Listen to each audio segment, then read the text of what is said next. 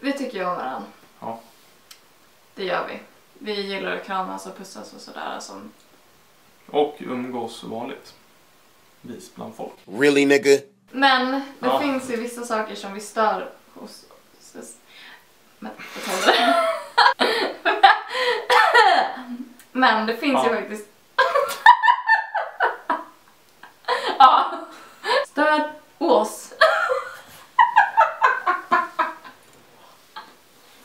Men det finns ju faktiskt saker som vi stör oss på hos varandra. Jag tänkte ta upp fem stycken grejer som jag stör mig hos på hos dig. ja. Bara fem? Ja, ja, det är ju typ tusen så...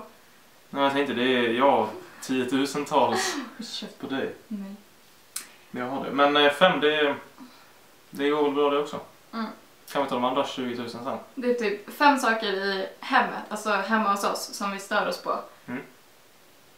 Så kanske vi kan köra. Hos varandra. Stör oss på hos varandra. Bra.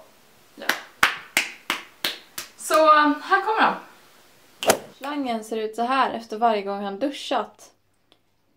Linus, snurrar du eller dansar du i duschen? Alltid ligger papper i toan när jag ska gå på toa. Att han alltid stökar ner i köket. Och plockar inte bort efter sig. Att han alltid tömmer vårt kylskåp. Det spelar ingen roll hur mycket vi handlar, det tar alltid slut. Jag hinner inte få någonting. När han använder mitt matbord som databord. Att hon alltid tar sig skorna in i köket. Och sen tog hon inte bort dem heller, utan jag måste ta bort dem. Att hon alltid kastar massa tvätt på golvet. När tvättkorgen ligger där.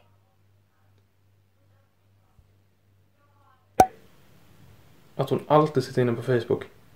Hela tiden. Varje dag. Varje timme, varje minut. När vi har bråttom och att hon säger att hon är klar så tar det alltid ytterligare minst 30 minuter innan hon är färdig. Därför vi alltid kommer för sent till allting vi ska på. Hon fiser alltid i sömnen. Jävla fail unge!